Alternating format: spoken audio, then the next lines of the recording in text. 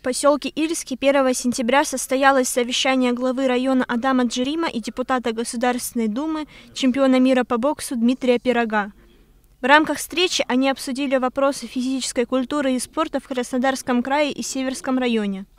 Большое внимание в районе уделяется созданию условий для занятия физической культурой и спортом.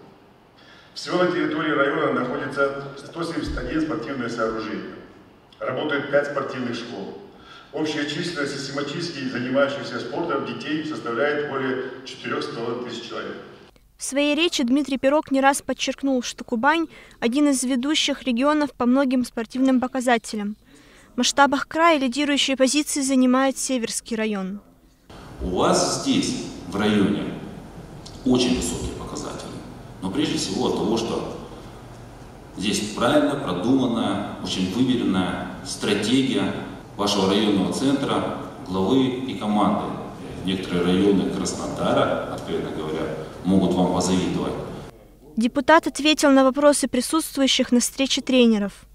Развитие стадионов в масштабах муниципального образования существующих, не вновь построенных, а существующих, вот устройство будет производиться. Здесь очень много сделано, но в то же время то, что было сделано, уже там требуется, время подходит, уже требуется для того, чтобы ну, по крайней мере, восстановить площадки, привести в должный вид некоторые из них. Потому что я знаю, что определенное количество восстанавливается здесь.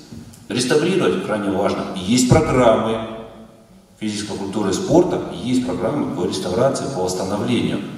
После совещания Адам Джерим и Дмитрий Пирог осмотрели спортивные объекты поселка. Они посетили спортивную школу номер два, открытие которой запланировано на октябрь 2020 года.